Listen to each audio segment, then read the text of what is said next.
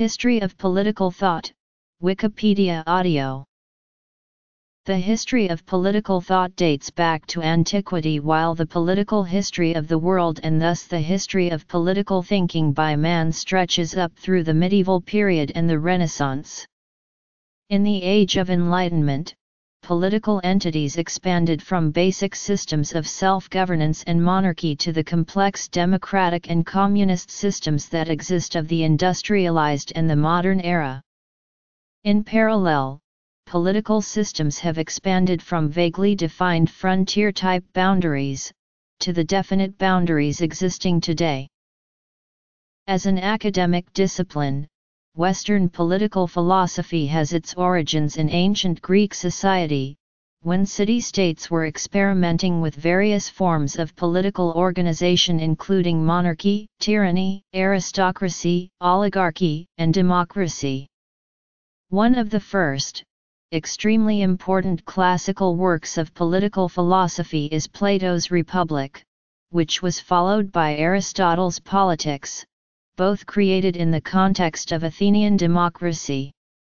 Roman political philosophy was influenced by Greek schools of thought, particularly Stoicism, in conjunction with the Roman tradition of republicanism, as evidenced by the political philosophy of the Roman statesman Cicero.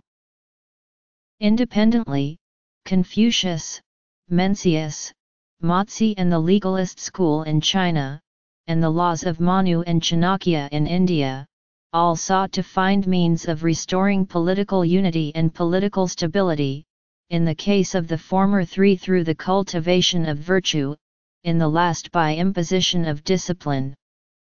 In India, Chanakya, in his Arthashastra, developed a viewpoint similar to Chinese legalists, and foreshadowed the ideas of Niccolo Machiavelli. Ancient Chinese and Indian civilizations resembled Greek civilization in that there was a unified culture divided into rival states. In the case of China, philosophers found themselves obliged to confront social and political breakdown, and seek solutions to the crisis that confronted their entire civilization. Antiquity the early Christian philosophy of Augustine of Hippo was by and large a rewrite of Plato in a Christian context. The main change that Christian thought brought was to moderate the Stoicism and theory of justice of the Roman world, and emphasize the role of the state in applying mercy as a moral example.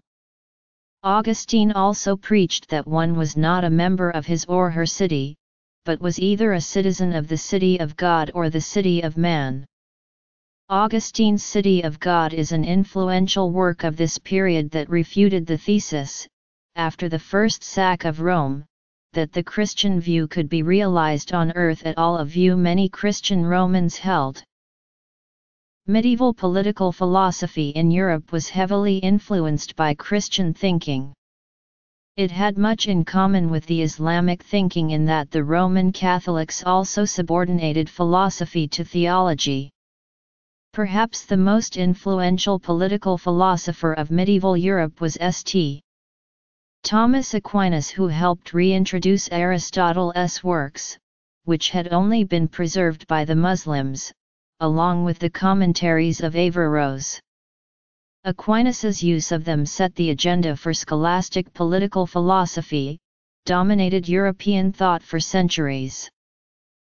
The rise of Islam, based on both the Quran and Muhammad strongly altered the power balances and perceptions of origin of power in the Mediterranean region. Early Islamic philosophy emphasized an inexorable link between science and religion, and the process of ijtihad to find truth. In effect all philosophy was political as it had real implications for governance. This view was challenged by the Mutazilite philosophers, who held a more Greek view and were supported by secular aristocracy who sought freedom of action independent of the caliphate. By the late medieval period, however, the Asharite view of Islam had in general triumphed. Islamic political philosophy was, indeed, rooted in the very sources of Islam, i.e. the Quran and the Sunnah, the words and practices of Muhammad. However, in the Western thought, it is generally supposed that it was a specific area peculiar merely to the great philosophers of Islam, Al-Kindi, Al-Farabi, Ibn Sina, Ibn Bajjah, Ibn Rushd, and Ibn Khaldun. The political conceptions of Islam such as Qudra, Sultan, Ummah, Sama, and even the core terms of the Quran, i.e. Ibadah, Din, Rab and Ilah is taken as the basis of an analysis. Hence, not only the ideas of the Muslim political philosophers but also many other jurists and ulama posed political ideas and theories. For example, the ideas of the Khawarij in the very early years of Islamic history on Khilafah and Ummah, or that of Shia Islam on the concept of Imamah are considered proofs of political thought. The clashes between the Ehli Sunnah and Shia in the 7th and 8th centuries had a genuine political character. The 14th century Arab scholar Ibn Khaldun is considered one of the greatest political theorists. The British philosopher anthropologist Ernest Gellner considered Ibn Khaldun's definition of government, an institution which prevents injustice other than such as it commits itself, the best in the history of political theory. During the Renaissance secular political philosophy began to emerge after about a century of theological political thought in Europe. One of the most influential works during this burgeoning period was Niccolo Machiavelli's The Prince, written between 1511-12 and published in 1532, after Machiavelli's death. That work, as well as the discourses, a rigorous analysis of the classical period, did much to influence modern political thought in the West. A minority could interpret the prince as a satire meant to give the Medici after their recapture of Florence and their subsequent expulsion of Machiavelli from Florence.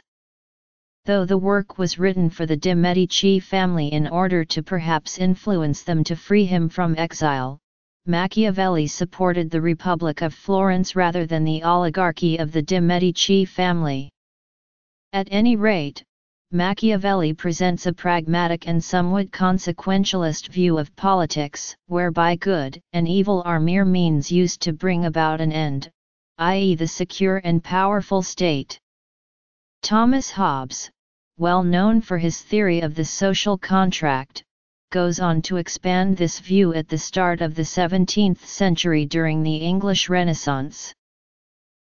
John Locke in particular exemplified this new age of political theory with his work Two Treatises of Government. In it Locke proposes a state of nature theory that directly complements his conception of how political development occurs and how it can be founded through contractual obligation. Locke stood to refute Sir Robert Filmer's paternally founded political theory in favour of a natural system based on nature in a particular given system. During the Enlightenment period, new theories about what the human was and is and about the definition of reality and the way it was perceived, along with the discovery of other societies in the Americas, and the changing needs of political societies led to new questions and insights by such thinkers as Jean-Jacques Rousseau, Montesquieu, and John Locke. These theorists were driven by two basic questions, 1.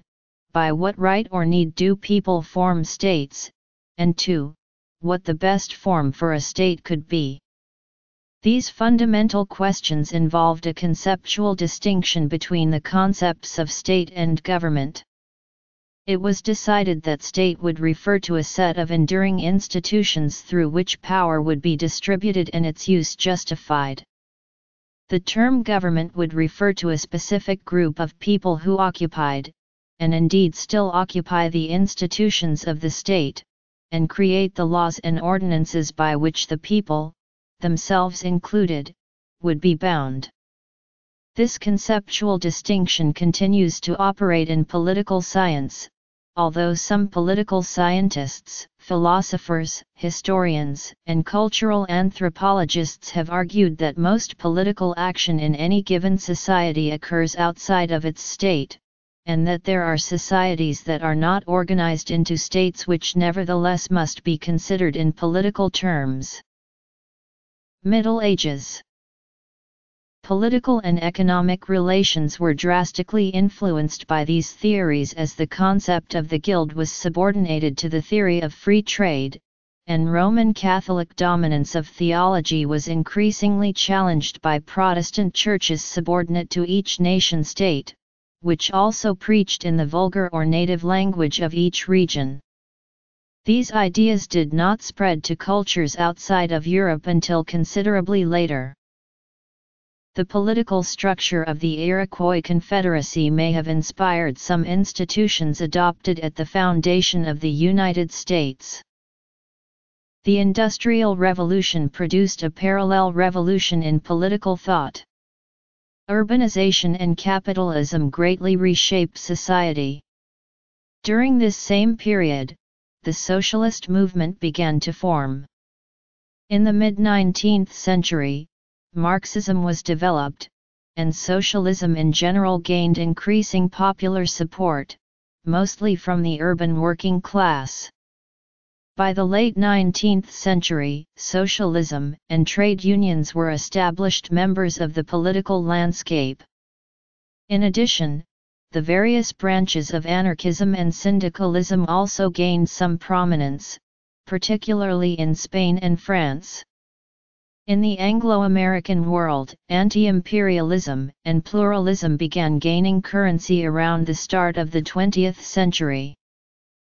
World War I was a watershed event in human history. The Russian Revolution of 1917 brought communism and in particular the political theory of Leninism, but also on a smaller level Luxemburgism on the world stage. At the same time, social democratic parties won elections and formed governments for the first time, often as a result of the introduction of universal suffrage. However, a group of Central European economists led by Austrian school economists Ludwig von Mises and Friedrich Hayek identified the collectivist underpinnings to the various new socialist and fascist doctrines of government power as being different brands of political totalitarianism. Europe.